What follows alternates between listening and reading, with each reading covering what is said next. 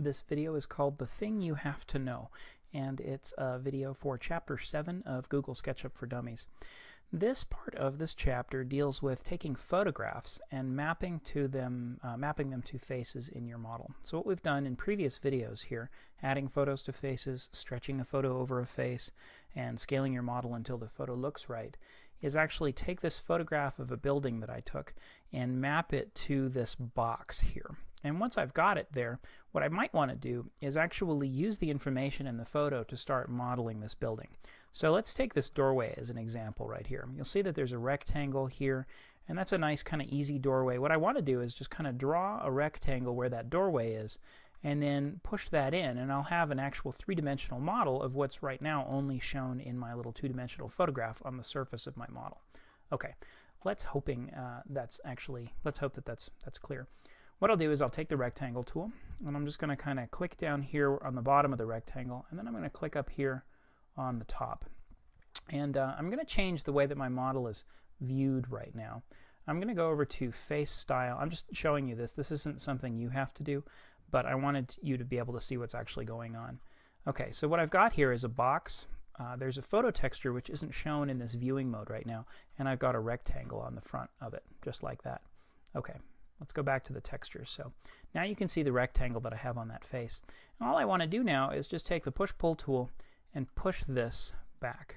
Okay, I'm pushing, I'm going to pretend that this doorway is way inset. It doesn't look from the photo that it is, but I'm going to pretend that it's inset like two feet. So let's type in two feet, just like that. Now, hopefully you can see what's going on here. What I want to show you is the inside faces of this doorway. So you notice this face that I'm hovering on right here. Let me indicate in the white. So it's this face, and this face over here, and even this face up here that represents the top of the door.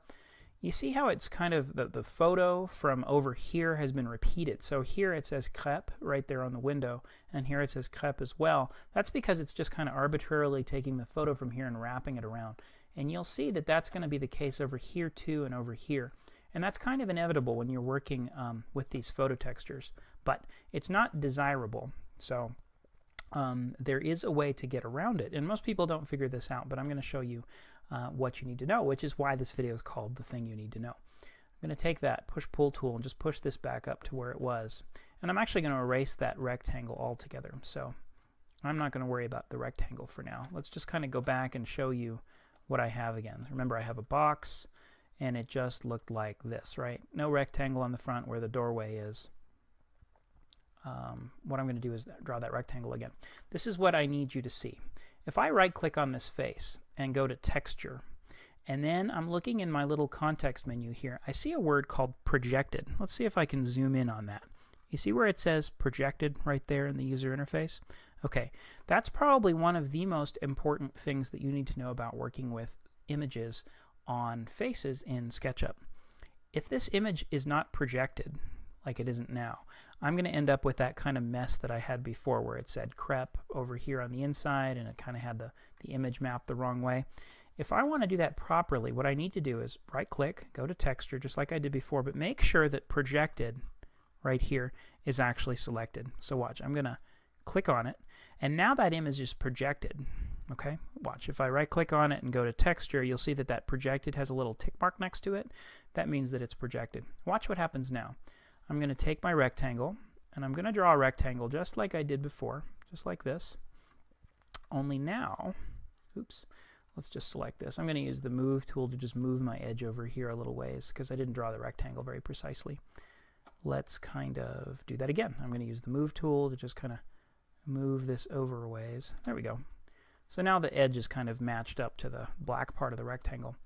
Watch this. When I take the push-pull tool and push this in now, let's say 24 inches, look what I end up with. I end up with this kind of streaky, kind of stripy texture on the insides of those faces right now. And the reason for that is the texture that we just made projected is now being projected perpendicular to this texture. It's almost as if there's a projector somewhere out here projecting onto this face. And since these faces that we pushed in are actually perpendicular to that direction, all we're getting is the one little row of pixels along the side here that's been pushed and kind of stretched across here. And that's called the stretched pixels effect. And that's usually desirable for what you're trying to do here. So let's actually repeat that. Watch. I'm going to go back. I'm going to make sure that my texture is projected.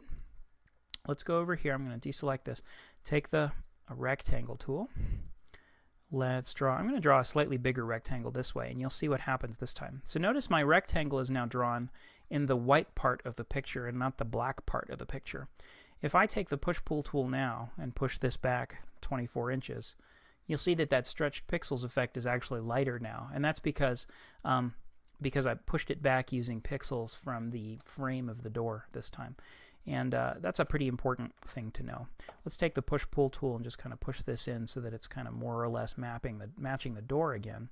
And now I'm going to end up with something that I, I kind of like, actually. Okay, so that's basically it. The thing you need to know is that you need to right-click and choose Texture Projected when you're going to be taking um, these textures and actually push-pulling into them or, or doing other kinds of things with them, just like that. Okay, that's the end of the thing you need to know video. Uh, I guess it's called the thing you have to know, actually, for Google SketchUp for Dummies.